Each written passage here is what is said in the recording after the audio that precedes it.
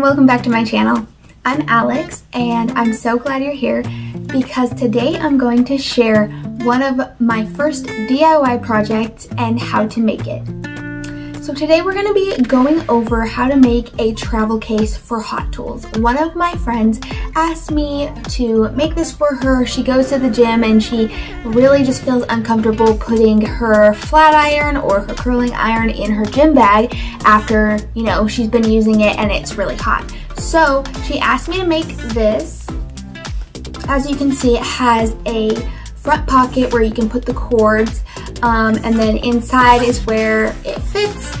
The inside is made out of this heat resistant fabric that is used on ironing boards. So that is what really helps insulate and make sure that your hot tool is not touching anything else in your case. And of course, the fabric is super cute and just a really great case um, for any type of travel. So I'm really excited to get started and share with you how to make this. But before we do, if you like this content and want to see more, don't forget to subscribe to my YouTube channel and follow me on Instagram.